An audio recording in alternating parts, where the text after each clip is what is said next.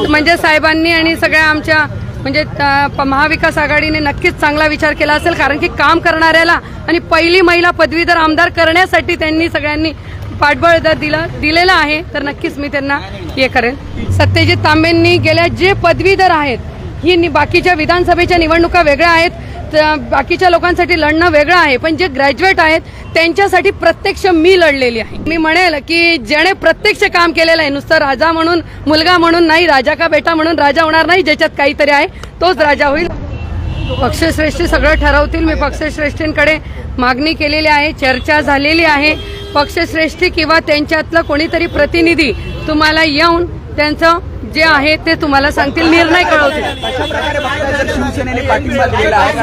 यांनी सांगितलं की उद्धव साहेबांनी आम्हाला प्रचाराला लागायच्या सूचना दिलेल्या आहेत. शुभांगी पाटील या आमच्या उमेदवार आहेत. अधिकृत. काय सांगाल? म्हणजे साहेबांनी आणि सगळ्या आमच्या म्हणजे महाविकास आघाडीने नक्कीच चांगला विचार केला असेल कारण की काम करणाऱ्याला आणि पहिली महिला पदवीधर आमदार करण्यासाठी त्यांनी सगळ्यांनी पाठबळ जर दिलं दिलेलं आहे तर नक्कीच मी त्यांना हे करेन. टीचर संघटनेच्या माध्यमातून महाराष्ट्रामध्ये तुम्ही एक संघटना तयार केली डेव्हलप केली त्याचा किती फायदा होणार? मी शिक्षक संघटनेची अध्यक्ष होती गेल्या दहा वर्षापासून कंटिन्यू आझाद मैदानावर लढत होती. म्हणूनच काम करणाऱ्या व्यक्तीला संधी मागितली होती. पण ज्यांना वाटलं की नाही शुभांगीचं काम भरपूर आहे तिने विना अनुदानितला अनुदानितला बऱ्याच ठिकाणी न्याय देत गेलेले आहे. तर मग अशा महिलेला आपण न्याय दिला पाहिजे म्हणून नक्कीच. आणि काँग्रेस सोबत गेला होता आणि आता तुम्हाला शिवसेनेकडनं पाठिंबा मिळतोय. कशा पद्धतीने पाठिंबा मिळतो अ, मी मला एबी फॉर्म आला नाही म्हणून अपक्ष सगळे आहोत आणि म्हणून मी माझ्या जे पक्षश्रेष्ठी होते सगळ्यांकडे मी पाठबळ मागते तांबे विरोधात असणार आहेत. कसं बघता याकडे? सत्यजित तांबेंनी गेल्या जे पदवीधर आहेत ही नि- बाकीच्या विधानसभेच्या निवडणुका वेगळ्या आहेत. बाकीच्या लोकांसाठी लढणं वेगळं आहे. पण जे ग्रॅज्युएट आहेत त्यांच्यासाठी प्रत्यक्ष मी लढलेली आहे.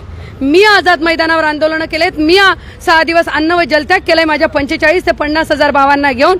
तर नक्कीच ज्याने मी म्हणेल की ज्याने प्रत्यक्ष काम केलेलं आहे नुसतं राजा म्हणून मुलगा म्हणून नाही राजा का बेटा म्हणून राजा होणार नाही ज्याच्यात काहीतरी आहे तोच राजा होईल असं मला माहिती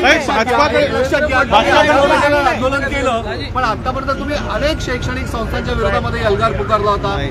तुमच्या धुळ्याचं म्हटलं शैक्षणिक संस्थांच्या विरुद्ध नाही.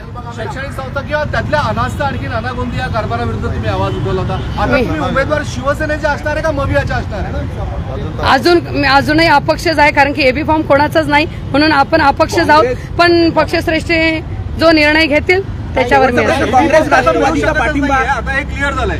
एबी फॉर्म तर मिळू शकतच नाही. भरू शकत नाही म्हणून अपक्ष आहे. हिंदी में आज आप उद्धव जी से मुलाकात करके क्या निकल कर आया? नाही ते